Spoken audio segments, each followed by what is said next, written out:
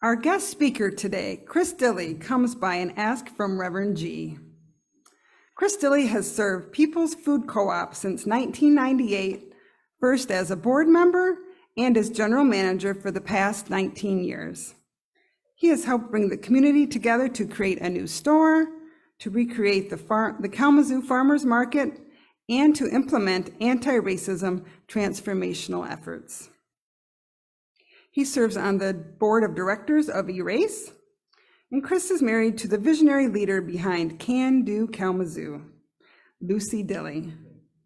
And together they have a kind, creative, super smart kid named Elliot. Welcome, Chris. We're delighted to have you here.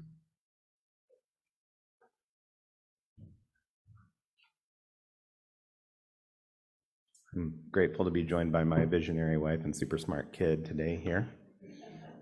It's awesome. Thanks, guys.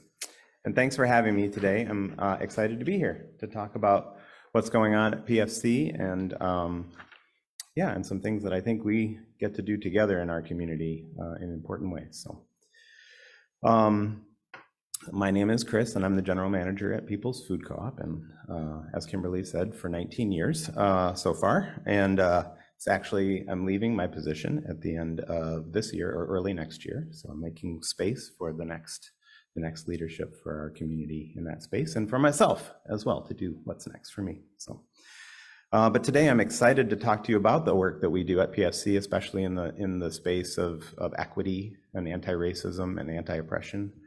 Um, and it is a journey. So, PFC is a 52 year old business in the Kalamazoo community, started in 1970 as the project of students at WMU. How many, how many of you have been to our store before? Yeah, okay, great. Thanks. So you know our focus is on locally grown and produced foods. We sell the freshest produce, uh, over 40% of which comes from local farms throughout the year. We uh, sell grocery, dairy, meat, cheese, beer, wine, amazing house-made sandwiches, soups, baked goods, and hot meals. It's a team, a scrappy team of about 25 folks that work there and make that happen every day. Um, how many of you have been to the Kalamazoo Farmers Market? Okay, yeah, great, thanks. So that's a PFC production too. We've been managing the market since 2013. We're really proud of the ways that we sustain our local community from farm, farm to fork.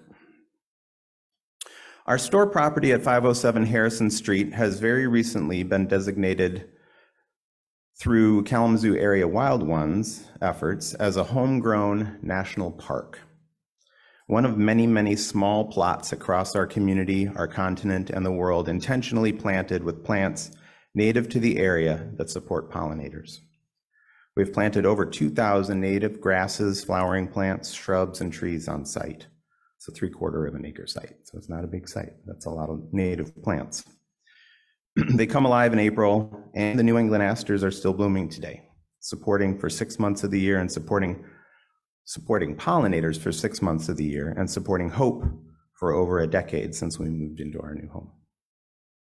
Just as humans have stripped the natural world that we inhabit of the amazing web of life that supports us all, so has white male dominant culture stripped people of color, women, LGBT, LGBTQIA, and people living with disabilities of access to power and resources that allow an, an abundant, fulfilling lifestyle. Over the past decade, PFC has undergone and continues to undergo an overdue transformation, confronting the myriad ways that we have been designed and operate that reinforce this misshaping of the human experience.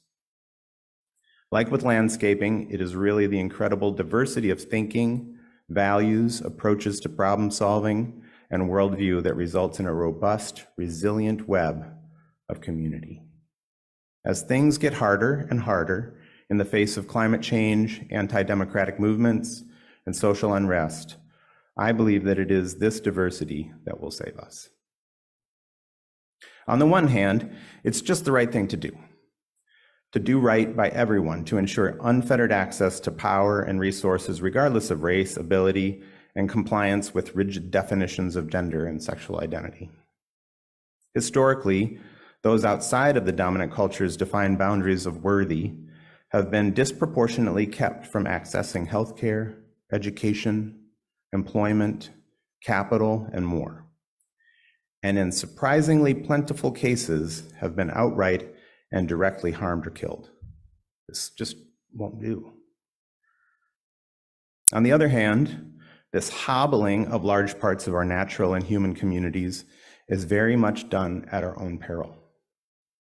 Like the delicate parts of the web of the natural world come together to make an incredibly resilient fabric that life itself depends on, so do we need all voices, minds, sensibilities, and cultures to be part of the problem solving and collective action that our species depends on for survival.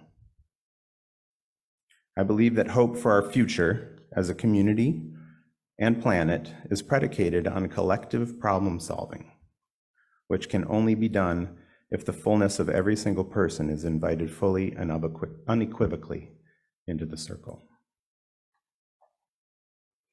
It is both the fact that it is the right thing to do and the reality that to make it through the challenges ahead, we must all bring ourselves fully that drives anti racism and anti oppression work at PFC. A little bit about the history of our work in anti racism. PFC has been on an anti racist journey uh, in earnest since 2011, starting with an introduction to systemic racism training hosted by ERACCE. Uh, that's Eliminating Racism and Claiming and Celebrating Equity is the full name of that organization. Um, but definitely goes by ERACCE because that's a mouthful. Started with a training from ERACCE, uh, training 10 of our staff uh, with, uh, just months before the opening of our new store on Harrison Street. Two things stood out to me during that training. One, racism isn't just about how individuals interact.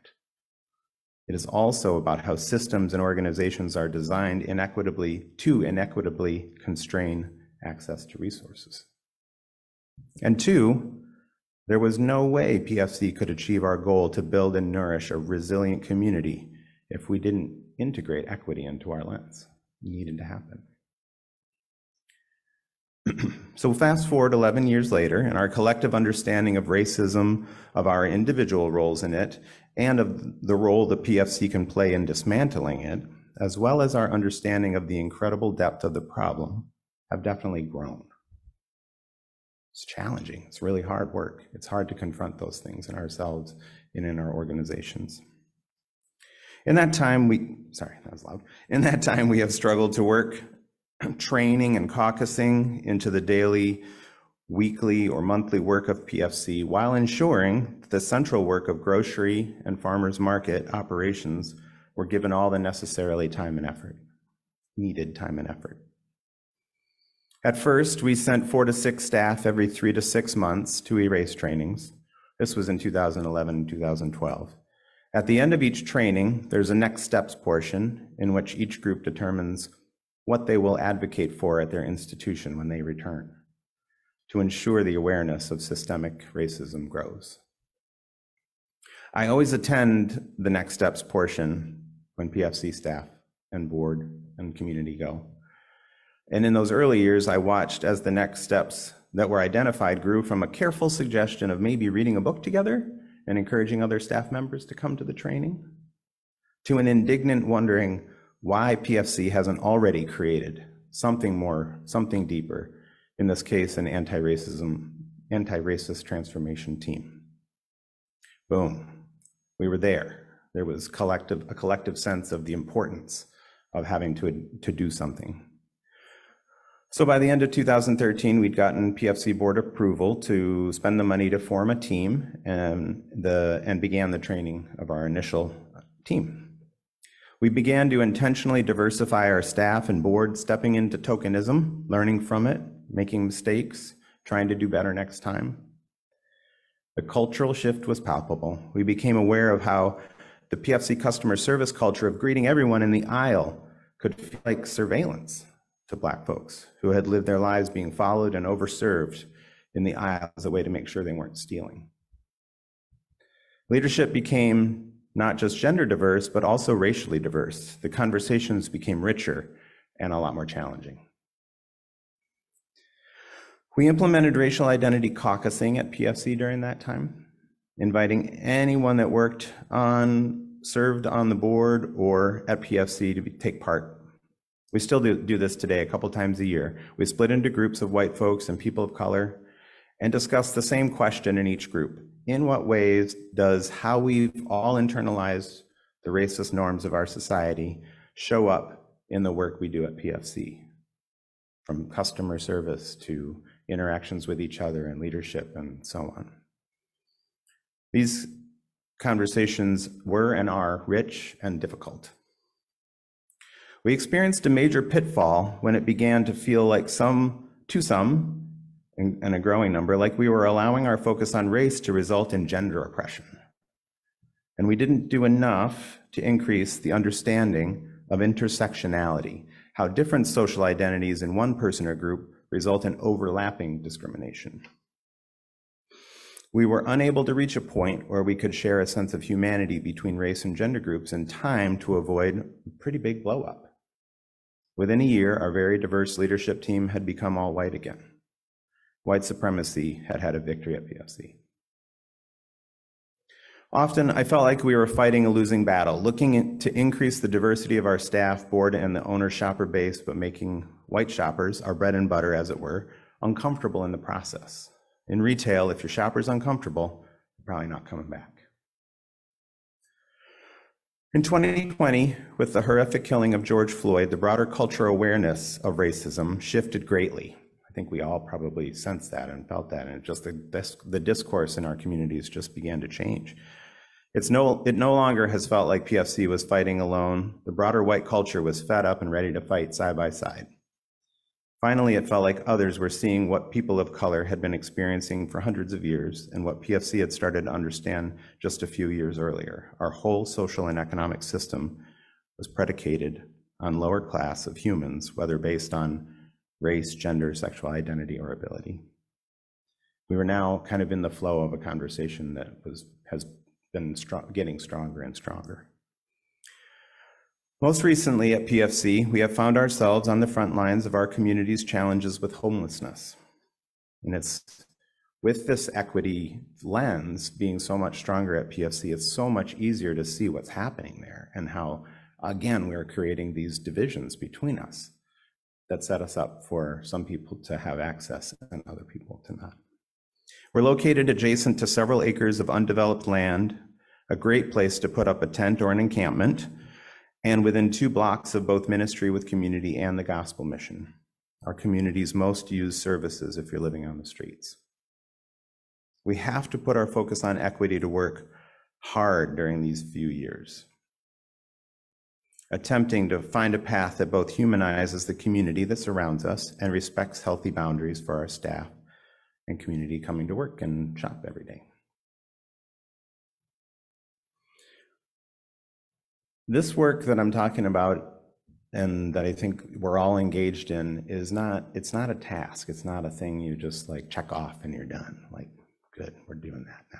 Put up our, put up our sign and we, you know, we, we, we've adjusted a couple of key policies or things like that. Like, it's, it's truly a journey and actually it's more accurately described, I think, as a transformation. I think that name of that we've taken in the ERACCE training world of anti-racist transformation is really key.